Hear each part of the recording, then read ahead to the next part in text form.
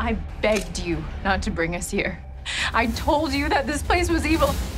This isn't a punishment, Jimmy. It's an opportunity if you let it be. I can imagine it's gonna be tough for you to come back here. If I were you, I wouldn't. Strange place for a meeting. You'll understand why when I tell you. Tell me what? Who ordered the attack on you and your family? If I show you that it's your trash to take out.